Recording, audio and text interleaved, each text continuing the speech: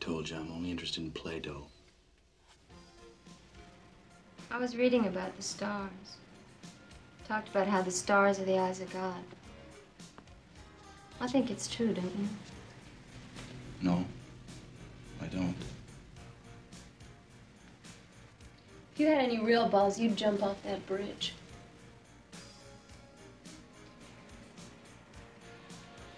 The same thing happened to Max could happen to me, you know. Hear what I said? Nothing's gonna happen to you.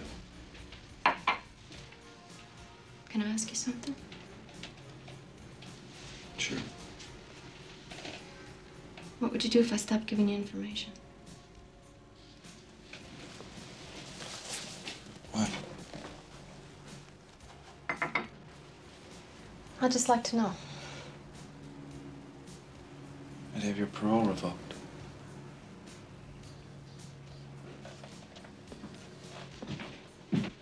You mean that? You'd do that?